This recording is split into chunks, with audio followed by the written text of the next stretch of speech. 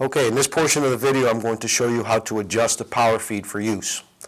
So here you have your advance and retract for the cable itself as the drum is spinning.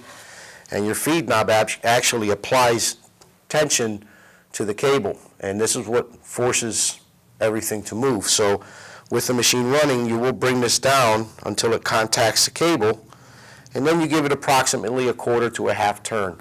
That adjustment is going to change the farther out you get because there's more weight in front of it. So it has to work a little harder to get that to move the cable.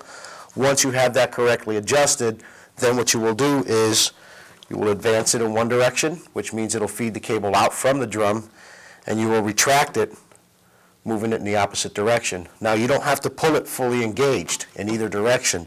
The farther away from center it is, the faster it will advance or retract as you move it. So if you want to move it a little bit, then you simply move the handle a little bit. The more you move that handle towards its limit, the faster it'll feed the cable out. Maximum feed here is about 22 feet per minute.